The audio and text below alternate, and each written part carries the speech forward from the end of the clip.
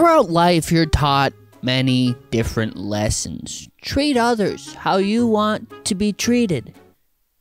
Uh, look both ways before crossing the street. Pay your taxes, or else we'll throw you in jail. Even though we don't tell you the amount of money that you owe, you have to figure it out by yourself. Even though that we know the amount of money that you owe to us, but we're not gonna fucking tell you that because we're assholes and we are assholes. And one of the last ones and most important ones is don't judge a book by its cover. So today, we will be judging all of these books by their covers. The way that we're judging this is out of a star system. How many stars can you get?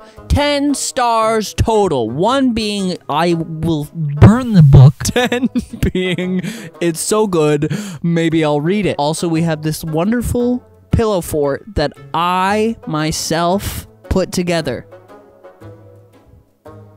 just me. Let's start off with the smallest book first. The Witch's Spellbook for love, happiness, and success. My sister-in-law got me this book, so therefore it's automatically a 10 out of 10. What?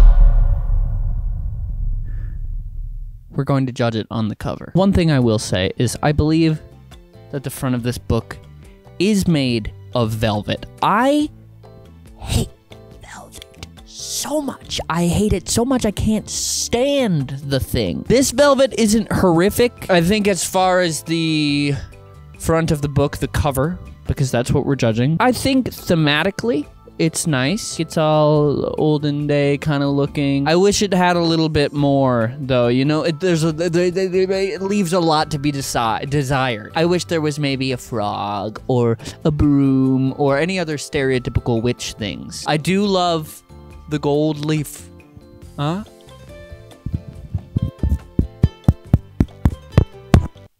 I'm going to give this the front, the cover. We're judging on the cover, not the contents or the way in which I obtained the book. Giving this a four, five out of 10, 50%. Five, five out of, five stars out of 10, out of 10 stars. For each star, I want, I want, okay, whoever's editing, I want you to put in, I don't want it to just go poof, 8 out of 10, poof, 5 out of 10. I want it to go do, do, do for 5 out of 10, you know? You can do whatever sound you want. You could change it every time, but I want the stars to each go do, do, do, do, do. You know what I mean?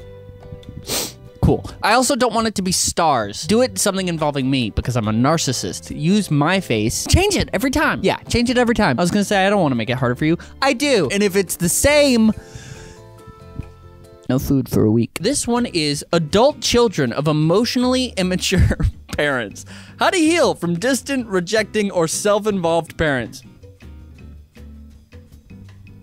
Now, I would like to say because my mother watches these videos, I didn't buy this. I am bored. I think that they could have done a cooler design. Like, like, like, like they have a parent that has a clown face. I think they could have made a parent into Bozo the clown or Bamboozled the.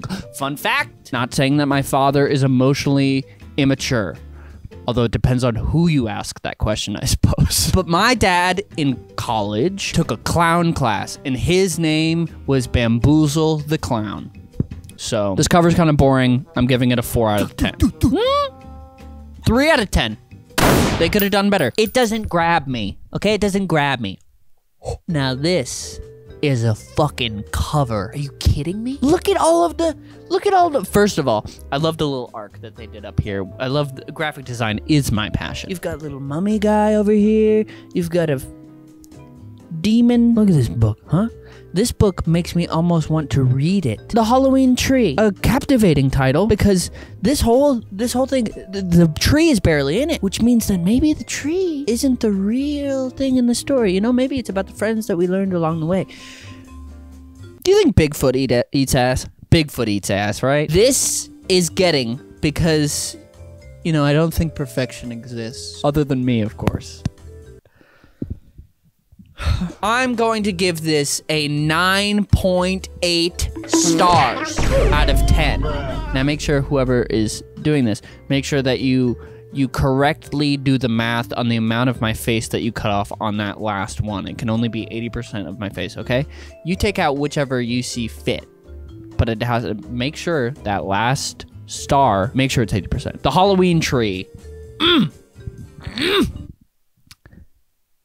Demand full automation. Demand universal basic income. Demand the future. Inventing the future. Post capitalism in a world without work. I don't like the cover of this. I don't know where to look. Who do you who who knows where to look on this? Is it this? I thought this was a sticker that they put on this to cover this. This is a stupid, stupid cover. Two bad. A manifesto for the end of capitalism. Have you been imagining a world without work, Jocelyn? Am I contributing to this capitalist society? My capitalist pig? Do you think I should be roasted at the stake? You do. You do. Tim Powers. Oh! Expiration date. The best fantasy writer to appear in decades. Whoa. This is kind of cool. He's getting crazy head. right now on this on this book cover. Oh, look at this little sun guy down here.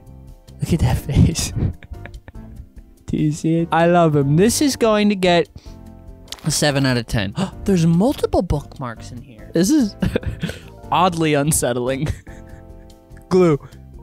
But it's like it looks like found footage. Pride and Prejudice and Zombies by Jane Austen and Seth Grahame-Smith. Dude, I loved it when they said yo, I got that pride and prejudice. Remember that when they said that in the movie, in in the book? You know, it's not bad, but I kind of wish that they did a little bit more to really grab me. Maybe if it was Keira Knightley tearing somebody apart. I think that would be kind of cool. But I think that they could have gone a little, uh, you know, I think it's a little bit boring.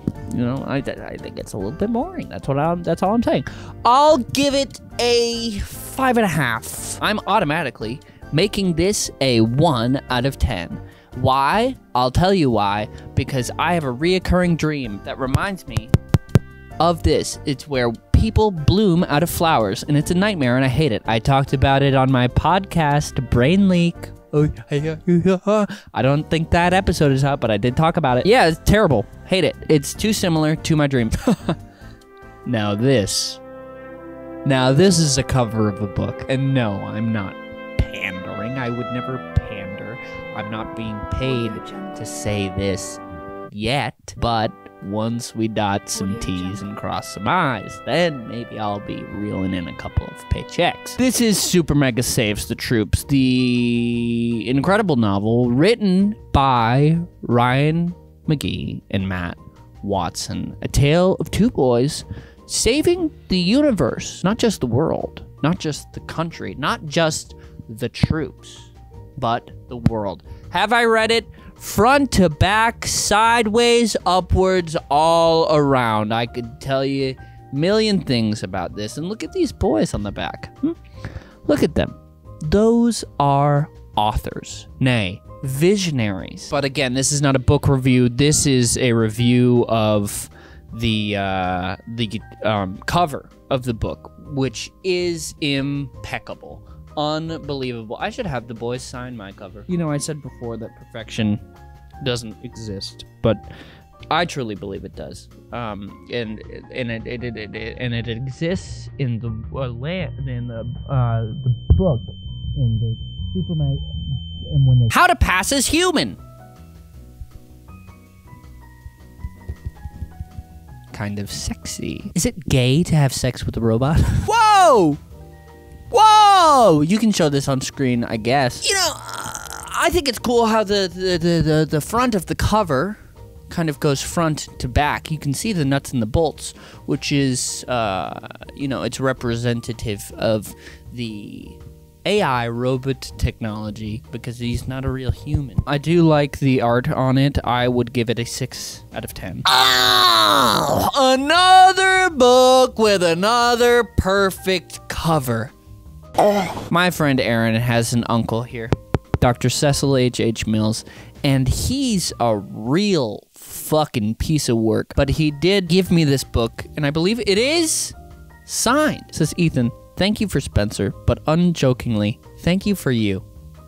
Isn't that nice? We have a very Hardy Boys esque um, cover. Wonderful, perfect, beautiful cover on this book. The Mystery of Exploding Teeth and Other Curiosities from the History of Medicine. He's really got some big chompers over there. What is this? Why are his teeth exploding? It begs so many questions. But does it get me to want to read the book? No. Not much could. Except mayhaps. Look at this. This, I believe, is a plesiosaur. Hmm? And this, I don't remember the name of. Put the name of it. it's that one. I think this guy right here, which I think is a plesiosaur, could have been the Loch Ness monster. I know that we're not judging the inside, but look at this fucker right here. Look at it. This is a 9.9 out of 10. I love the Loch Ness monster. I was obsessed with the Loch Ness monster growing up as a child and today. I wouldn't want nothing more than for Nessie to be found, alive or dead. Well, it would be sad if it was dead, but it would give us proof. It would give us the proof we needed, and it would make the inside of my heart sing, and it would go, oh, she was alive. How to be successful without hurting men's feelings. Non threatening leadership strategies for women. Use math words to sound smart. I should start doing that. Great. Tight uh, cover. It's got it's bedazzled, so it's a little bit of feminine energy. We love feminine energy here in the or in the workspace at Crank Gameplays. Don't we? Don't we? I'm not gonna objectify something that a woman made, you know? So I just don't think it's fair to rate it. Okay? I just don't think it's fair. Or good. Or good. Because I am an ally.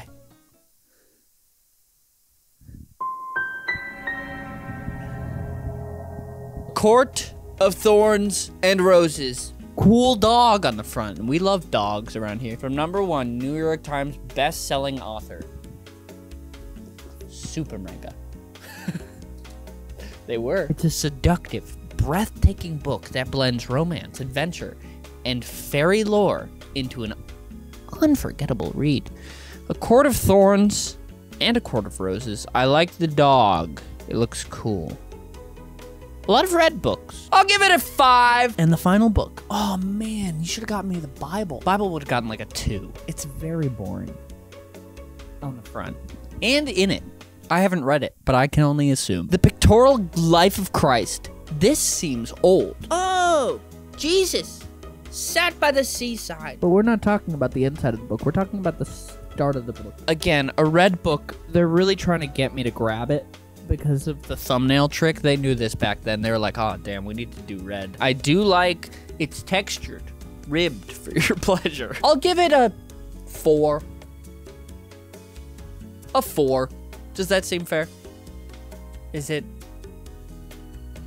blasphemous? To make it a four? You know, I've always been a um, I've always been a little bit confused as to how Jesus is the Son of God, but he's also God. How does that work? Joe Rogan, figure it out. Give me the final book. It's very old. I have to be very, very careful. Is this an heirloom? it's an heirloom? After watching me rate these books, where do you think I will rate this? Last book, last book, last book. I want a book. I want a book. Give me a book. I've never said that. First time for everything. Oh, it's heavy. It smells old. Feels canvassy. I'm going to open my eyes. Edward Fox. Edward Fox. Das Zeitgiftly problem. Oh man, I have that problem too. Edward Fox. Do you see it? Whoa! They're fucking just blur necessary things. That's crazy. Man, Edward really did fuck. Whoa! It's color. They had color back then? There's boobs on there. Wow. Whoa. It's really hard to tell if he's holding a scroll or if it's his penis. Very hard to tell. Well, guys, you heard it here first. Edward fucks. And the cover of this book doesn't. We're judging books on their covers, which is what we're doing, it's the title of the video, it's the thumbnail, everything. This is a boring book cover. It's boring. It looks like a paper bag. I'm rating it a 1 out of 10. I don't give a Edward fuck. boring book cover. You could have clickbaited the shit out of with the t- with the cover of your book, Edward, but you didn't. I respect you for it, but was it a smart business decision? Listen, I don't want to be that guy, but I've never heard of Edward Fox. Maybe I would have if you had put a boob on the title cover. I'm just saying. I'm just saying. I'm just that's all I'm saying. That's all I'm saying. So, today we rated the covers of books. Did you agree with my ratings? Did you disagree? Let me know down below. Actually, give me your ratings of each book. Let me know what you thought. And let, let me know what you thought of this little house, this little hut. Kind of cozy. You could read a book in here. I won't because I don't know how to read. So, thank you so much for watching this video. Thank you for rating book covers alongside with me. We did what we were always told not to do to judge books by their covers. But every once in a while, you got to bend the rules. You got to break a few eggs to make an omelet. And we made breakfast today. Thank you so much for watching.